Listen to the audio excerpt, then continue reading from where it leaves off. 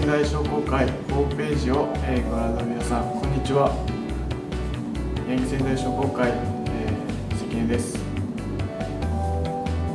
1月の22日土曜日に花北公園におきまして第29回泉区民ふるさと祭りが開催されました。今年は、えー、観客数18万人ということで多くの皆様に、えー、花火を楽しんでいただけたかと思います。また、えー、花火打ち上げに際しまして、え、商工会会員をはじめとした皆様にの、えー、多くの協賛金、えー、ありがとうございました、えー、今回の、えー、ご案内は、えー、2つございます、えー、100万人ネットワークということで、えー皆様の会員事業所の PR を幅広くしていただくというシステムです。主な内容としましては事業 PR を商工会専用のホームページに登録していただくと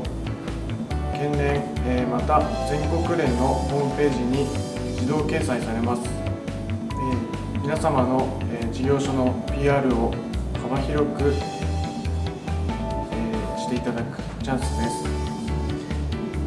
えー、ご案内は9月の商工会の会合に同封させていただきますのでぜひご覧ください、えー、2つ目のご案内は9月の25日26日に泉中央駅前ペデストリアンデッキにおいて行われます。泉マルシェ2009についてです。え泉区をはじめとした、えー、地元の方の、えー、西洋野菜を中心といたしましてその他千葉の野菜や、